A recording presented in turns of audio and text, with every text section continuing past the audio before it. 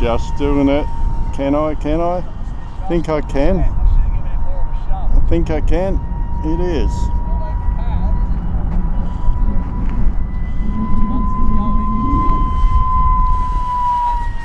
Yeah, she's airborne. Definitely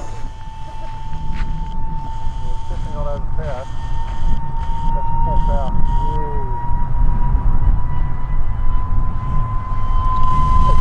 Gentle turn.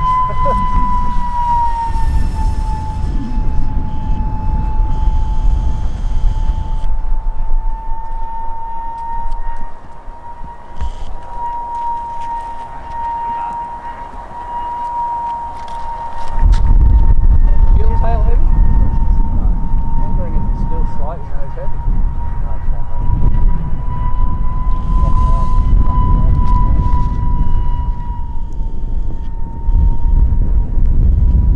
Good wind now.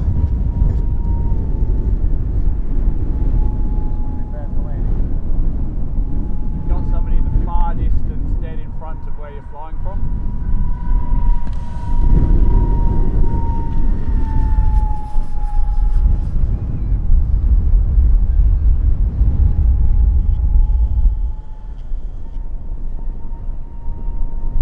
Orange finding glides further than you think, though.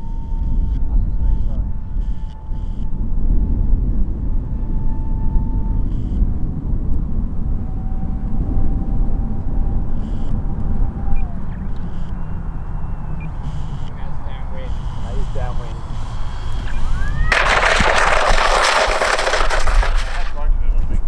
It's being held on by the carbon fibre. You know what? That that um, all that cabling's probably not helping. Yeah, but I don't have much choice because I can't bend it around far enough.